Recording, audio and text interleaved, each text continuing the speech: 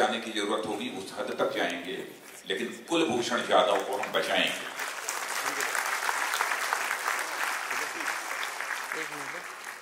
Kulbhushan Yadav Indian navy के retired अफसर थे। ईरान के चाबहार में वो एक छोटे बिजनेसमैन थे। बराबर उनका चाबहार से तेहरान तेहरान से चाबहार आना जाना होता था। उसी बीच पाकिस्तान की सिक्योरिटी एजेंसी ने उनको किडनैप कर लिया। और किडनैप करने के बाद पाकिस्तान की अथॉरिटी ने जो प्रेस कॉन्फ्रेंस की है, उस प्रेस कॉन्फ्रेंस में यह कहा है कि कुलभूषण यादव के पास वैलिड इंडियन पासपोर्ट है। तो मैं समझता हूँ कि यदि कुलभू, कुलभूषण यादव यदि स्पाई रहे होते, जासूस रहे होते तो कम से कम अपने पास वैलिड इंडियन पासपोर्ट वह न रखते। लेकिन फिर भी उनके साथ वहाँ की आर्मी कोर्ट ने जो कुछ भी किया है, उन्हें लाइफ सेंटेंस अवार्ड किया है। इस पाकिस्तान के अप्रोच को भारत की सरकार, पूरा भारत इसे कंडम करता है। और जहाँ भी ज़रूरत होगी, और मैं मानता हूँ कि जो कुछ भी हुआ है, यह एक प्रकार का प्री प्लान मर्डर इसे मैं मानता हूँ। करने की कोशिश की जा रही है। लेकिन किसी हद तक जाएँगे लेकिन हम लोग कुलभूषण जाधव को बचाएँगे।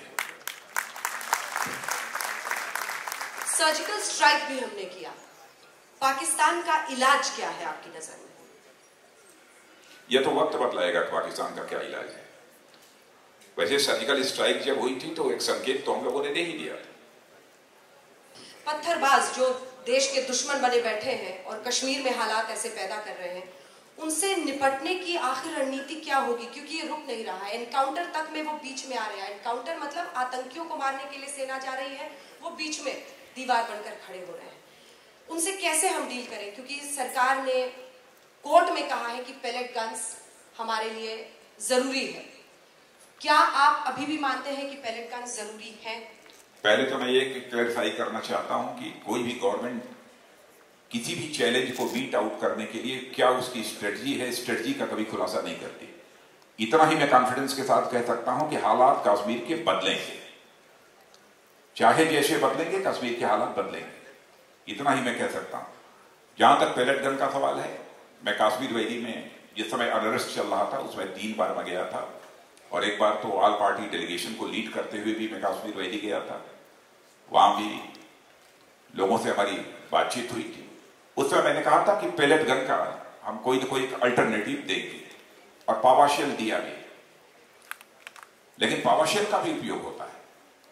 जब कोई रास्ता शेष नहीं बचता तो आपको सिक्योरिटी फोर्सेस के जवानों ने कहा कि हमको पेलेट गन का यूज़ करना पड़ता है। लेकिन ये इंस्ट्रक्शन हमारे सिक्योरिटी फोर्सेस को भी हैं यदि पेलेट गन का यदि प्रयोग किया जाए तो किसी भी सूरत में यह कोशिश की जाए कि वह कबर के नीचे ही वो गोली लगे।